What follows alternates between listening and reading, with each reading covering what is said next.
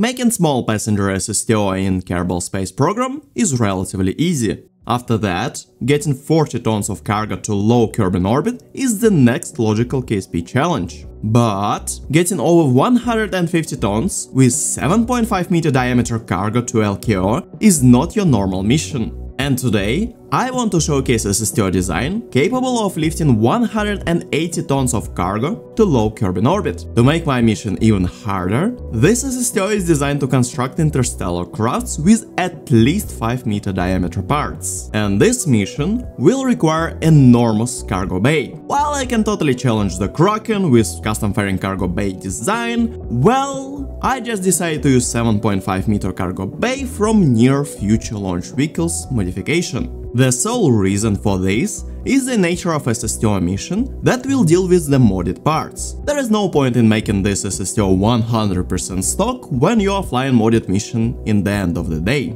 Nevertheless, this single stage to orbit design do require only two modded parts to function, and otherwise it is pure stock creation. Also, also, also, this modded cargo bay just looks like a chunky fat sausage full of cholesterol, sawdust and palm oil. And to be true to the nature of my KSP videos, this craft have the tasty acronym. Welcome! Sausage Airborne Logistics Ascent Mobility Injector, or simply short, Salami. Yeah!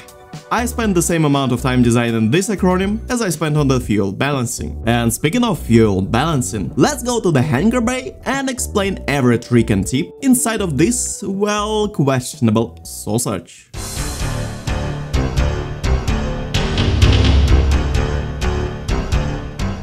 Alright, so why trimaran design? This is a really good question and there is actually two reasons for this particular design. If you are making a single hull design for SSTO of this size, of this capacity, well it will be like 2.5 maybe three times longer and at this length you will need to swap the camera around, especially when you dock, when you deploy the cargo, when you land and when you make several trips, several missions like 2, 3, 4, 5 missions to construct one craft, well it's getting a bit annoying so if you can make the design where you do not really need to swap camera around, it's kind of win-win situation. And the second reason for the trimaran design is ability to balance your center of mass and center of lift pretty easily. Right now I have removed my payload. With the payload, with the fuel tanks especially, it will shift just slightly, but without the payload, as you can see over here, if I adjust my fuel levels for the whole craft with this fill it up modification, uh, the center of mass is pretty much stays the same. Uh, it just shifting around vertically,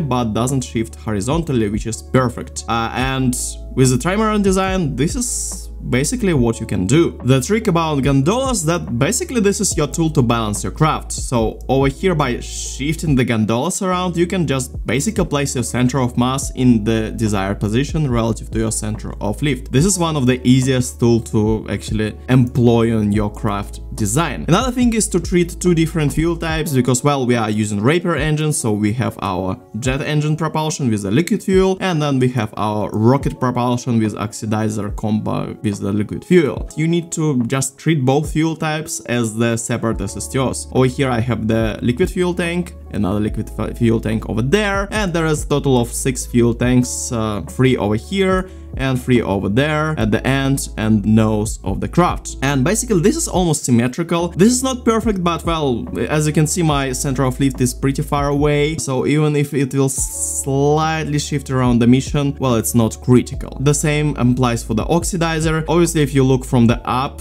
from the this angle you can see that majority of my fuel tanks they are at front for the oxidizer but there is another huge fuel tank inside of the cargo bay over here at the end and basically this fuel tank balance everything all around.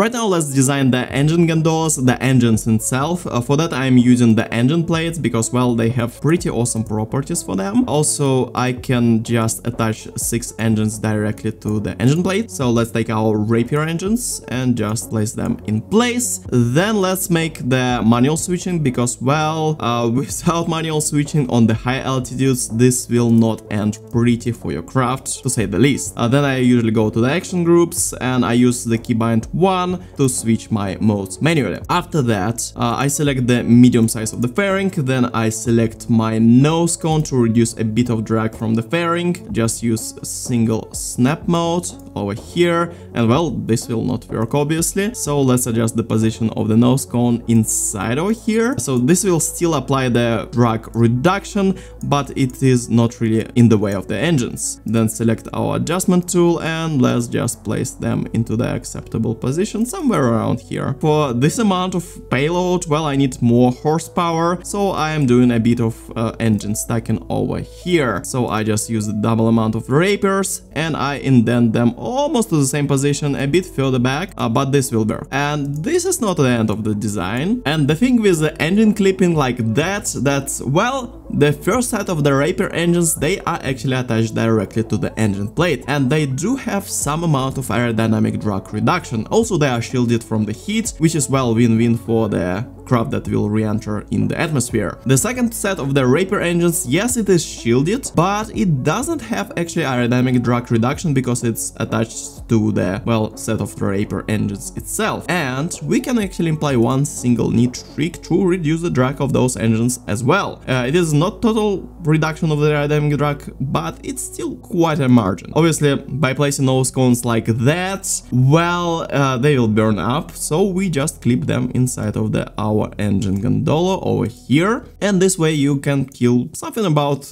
half the amount of aerodynamic drag from your second set of Rapier engines. Another neat trick is to design well your set of engines uh, as the separate entity, as the separate subassembly, and then just add them to your two, well, symmetrical engine gondolas, because if you try to make six engines on the dual symmetry, well, it will just not work. Uh, so over here I have my full assembly of the engines, and as you can see, obviously, yeah, the KSP love to do a lot of jitter. Here we go. Uh, so we just play placed our engines and as you can see this nose cone will clip and what I actually love to do I just adjust the position of the engines itself like that and this way everything is flush and there is no Z fighting. So here's your engines.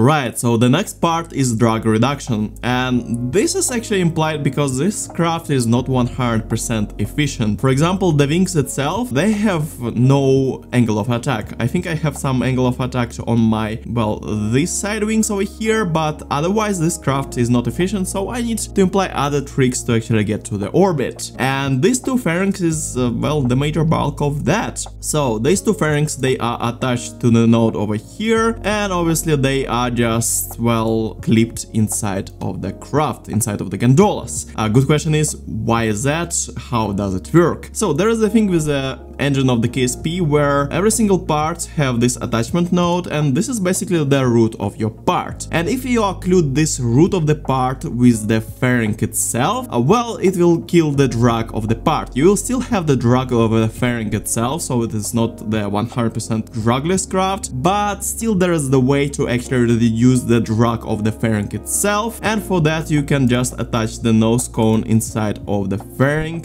and well, just clip the things inside of the fairing. Uh, you still will have some drag. There is a way actually to kill 100% drag from the fairing. This will need to have the fairing as a root part, then you adjust the nose cone from the front, from the back, and then you clip everything, all of your parts inside of the fairing. This way you will have 100% dragless craft, but well, this is, well, the range of, well, Kraken drives, and I usually do not imply that. Uh, this way I have only half of the drag from the fairing, and the fairing is killing off the drag from the fuel tanks. Uh, some people will say this is not acceptable. Uh, here's the thing, so if you just do this simple thing over here, so you just slap two fuel tanks on the sides, then you take the two matching nose cones over here and on the end.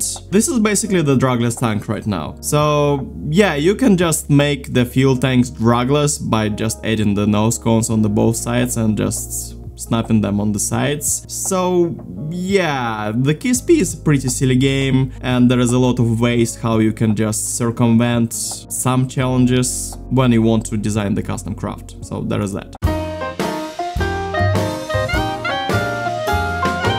Next step is to take care of our air intakes. Obviously, those fairings, they are visual air intakes, they doesn't actually intake any air. So where are our air intakes for 24 Rapier engines? This is a lot, we need a lot of air intakes. And they are over here. So here is total of 4 air intakes, shock cone air intakes for our Rapier engines. There are also engine pre-coolers, this is basically the part which can be snapped to the side of the tank. Obviously I have some air drag reduction over here with nose cones and I have total of 4 shock cones to intake the majority of the air. And if you clip them like that, if you clip them entirely they will not work, but if you have them sticking just tiny tiny teeny bit uh, from the hull, they will work and function as well if they placed somewhere on front for example blah blah blah blah blah. Next part is the wing area and attitude control. And for this craft there is nothing like fancy in terms of like wing area clipping. So everything you see over here is, well, all the wings this craft does have. What is important? First of all, to have, well, uh, auto-strut root part. Every single part of this craft is being auto-strutted. This is really important. If you do not know what is that, well, this is one of the advanced tweakables that you need uh, to actually enable enable in your KSP settings. And without that, well, making the huge craft is pretty much impossible because everything will just fall apart. And even if you get to orbit if you try to land then it will fall apart. So there's that. Another thing how i do design my wings. So i usually take one wing snap it to the hull and then snap several wings to this wing directly. So there's the root wing over here uh, and this part, this part, this part and this part they are snapped directly to this wing. This way it will not flex really hard. Uh, same applies for this wing area, so there is a root wing over here attached to this wing and then this part, this part, this part and this part they are attached directly to this wing. So the control surfaces, really important. First of all, this craft is really heavy and having only two tail fins, well, it will be not enough. I have two small cannons over there, but it will be still not enough. So actually over here you can see there is a total of four tail fins uh, they are clipped inside of each other, they are slightly offset so I have no Z-fighting. and in this way I actually can make the deployable air brakes like the space shuttle. It looks pretty not really functional to be honest but well still pretty neaty thing. So control surfaces once again with this amount of well vertical tail fins roll will be crazy, roll will be too much so for this reason I just disable roll on all vertical fins and also I disable yaw on my horizontal fins over here. Uh, also, you can disable yaw over here, but usually I find it's not really necessary. Also, you can disable roll uh, from those things as well. I find it not really necessary. What is actually necessary to have extra control on front? Because if you have the craft that have all control surfaces behind the center of mass, especially so far behind, well, controlling that is not pretty, you know? So this is why I have two extra canards on front. This is more than enough to offset actual balance of control surfaces you can add extra control surfaces on front, but then this thing will handle like a jet fighter, and if this thing will handle like a jet fighter, well, at some point it will just fall apart, so there is that. there is a point where too much control surfaces for such weight.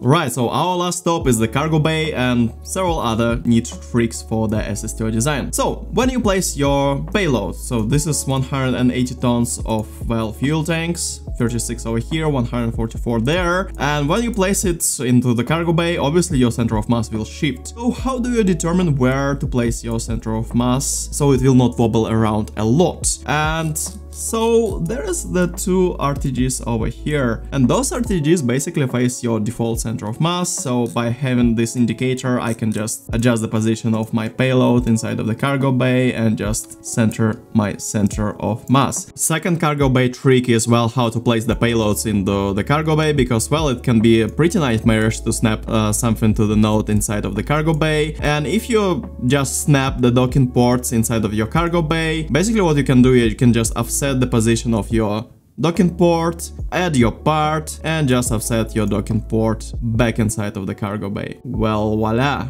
Another trick is uh, to have the solar panel inside of the, your cargo bay. This is small solar panel, it's not functional, it is just sole indicator of your cargo bay well-being. The thing with the Kerbal Space Program, especially when you restart your mission through, well, screen of death, well, there is a point where the cargo bay will not load correctly and everything inside of the cargo bay will have the drag. And when that happens, well, you will probably not reach the orbit. And by having this solar panel over here, you basically will see the message that the solar panel is being destroyed by aerodynamic force. And this is the indicator that, well, your cargo bay is not feeling well. Another thing is about RCS controls. Uh, I am using the smaller ones because they have the higher temperature tolerance. The bigger ones that I usually use, they have only 2k temperature tolerance and I could not really hide them anywhere on this craft, so there is that. And the reason for RCS control of this craft is that, well, the center of thrust is not perfectly balanced around the center of mass vertically, and it also will shift depending on your payload, uh, so there is that, so this is why I need to have some sort of RCS control when I'm injecting in the vacuum to the low Kerbin orbit, otherwise I will not really need them, so there is that.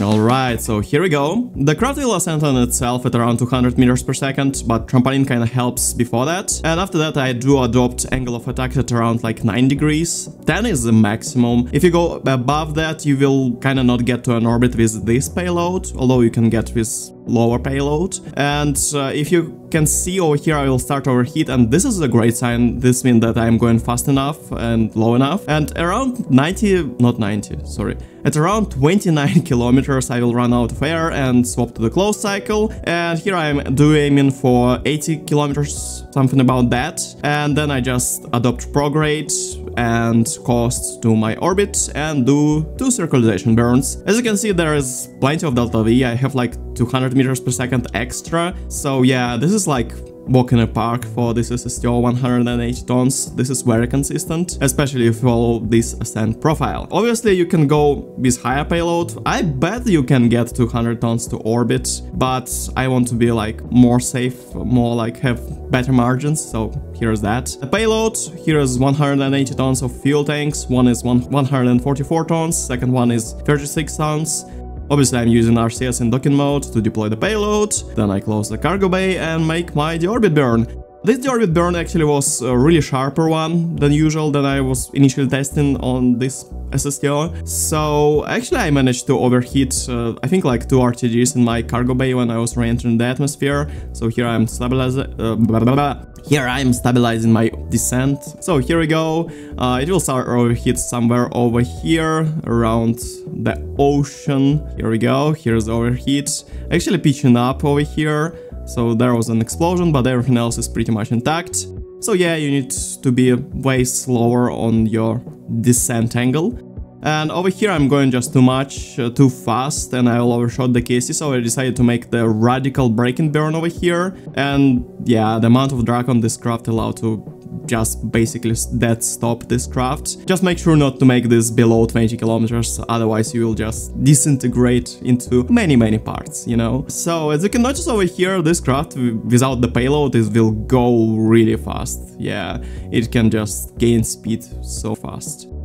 So the first attempt, uh, it was a bit scuffed unfortunately, and the second attempt as well, uh, but well, you know, when I was testing this craft I was way better by landing because I was not adjusting the brakes before that, but here I just adjusted my brakes to be way more powerful, I just ended up off the runway, although I landed pretty much perfectly. So here's the first attempt, and here's the second attempt. Uh, I think the tricycle design is way better, like four landing gears with the brakes, well it doesn't really work unfortunately. So I think I'll adjust this SSTO to the tricycle design, but I will do it probably when I will be flying the interstellar missions, so here's the second attempt, and basically I will go off the runway, although I'm trying to adjust brakes I think over here. So here's the brakes, yeah, too much braking power, once again I went from the runway.